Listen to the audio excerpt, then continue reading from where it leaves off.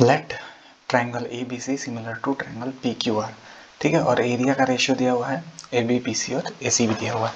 यहाँ पे इस क्वेश्चन में आपको सबसे पहले तो ट्राइंगल बना लो समझने के लिए, नहीं तो दिमाग में थोड़ा सा अगर एग्ज़ाम में भी आए तो ट्राइंगल बनाना आपके लिए बहुत ज़्यादा अच्छा साबित होगा। ठीक है? फट फट ट्राइंगल बनाना है। यहाँ पे पी क्यू आर लिख लेते हैं। बोल रहा है ए बी का वैल्यू बारह। एक चीज़ में कॉन्सेप्ट बताऊँगा, बस वही मेन चीज़ है और कुछ इसमें है नहीं। देखो, यहाँ पे जो ये दिया है ना, ये एरिया का आपका P A B C area का क्या रेशियो तो यहाँ पे पी क्यू आर या फिर वही चीज़ें, कोई दिक्कत नहीं है। इसका रेशियो दिया हुआ है। क्या दिया हुआ है? एक सौ चौवालीस डिवाइड बाई फोर्टीन कभी भी अगर एरिया का रेशियो दिया हुआ होता है, ठीक है, और आपको साइड का रेशियो निकालना रहे तो बस इसको अंडर रूट में डाल दो, यानी कि बारह डिवाइड बाई सात, दोनों को, ठीक है? तो ये हो जाएगा side of A B C triangle A B C का रेशियो हो जाएगा, और ट्रायंगल पी क्यू आर का रेशियो ठीक है? ये चीज़ हो जाता है।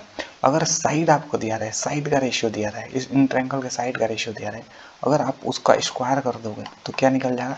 एरिया का रेशियो तो इतना चीज़ क्लियर हो गया, बस यही मेन चीज़ है इस क्वेश्चन में, ठीक है? अगर ये आपको पता है तो अब इस क्वेश्चन में कुछ नहीं था। तो चलो प्रीवियस वर्जन पे आ जाते हैं हम लोग, यानी जो जहाँ थे, वहाँ आ जाते हैं।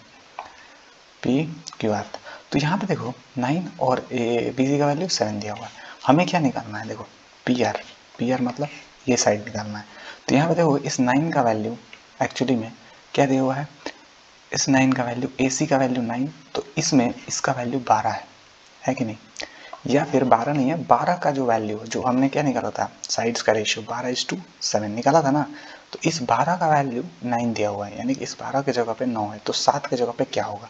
तो बारह की जगह पर नौ है तो सात की जगह पे क्या होगा? Nine divided by twelve into seven तीन से तीन बार में कहेगा तीन से चार बार में इक्कीस डिवाइडेड बाई फोर हो जाएगा आंसर तो कुछ था नहीं, बस आपको इतना पता होना चाहिए था कि साइड्स का, अगर हम साइड्स का रेशियो दिया जाए तो उसका स्क्वायर जब करते हैं साइड्स के रेशियो का तो क्या आता है? एरिया आता है। एरिया का रेशियो आता है।